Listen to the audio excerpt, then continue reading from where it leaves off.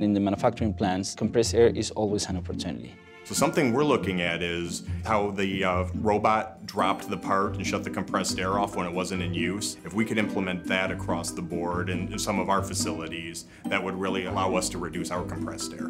One of the biggest challenges is the age of the facility, so it is 32 years old. We have a lot of original equipment. In particular, the compressors are very oversized because we've reduced our compressed air load a lot since the facility first opened. So we have some opportunities to reduce our compressor size. I wonder if these are powered up right now when they're not in operation.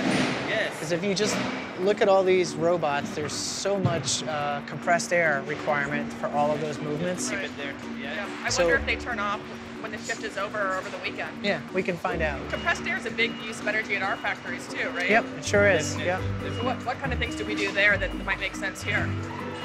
So one of the things would be, while it's not in use right here, it's still powered. So if they had automatic air dump valves, uh, they could power that down and that would lessen their energy requirement. When we were talking about your energy management system, something that I think you guys do particularly well is you can isolate lights and air in specific areas, whereas currently within our factory, if one machine is running, the entire packaging hall is on and it's lit and it's uh, climate controlled.